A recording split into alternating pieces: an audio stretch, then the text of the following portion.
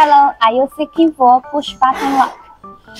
I would like to introduce a classic push button lock to you. Zinc alloy knob and the plastic base. Press smoothly.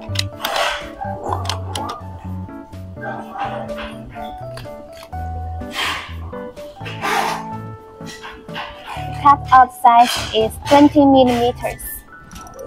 The door thickness is 18 millimeters. Multiple colors are available. You can choose your favorite. There are two models. This is the old model. This is our new model. The main difference is in the shape. If you are interested in this product, please contact me to inquiry or get samples.